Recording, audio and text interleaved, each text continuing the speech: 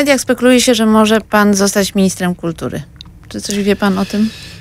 Y, Nie wiem, spekuluje się o tym rzeczywiście, ale jest e, parę osób na giełdzie, parę nazwisk, e, tak więc e, zapewne trzeba będzie jeszcze mieć odrobinę cierpliwości, kiedy dowiemy się, kto naprawdę tym ministrem kiedy, będzie. a kiedy zapadnie decyzja pana zdaniem?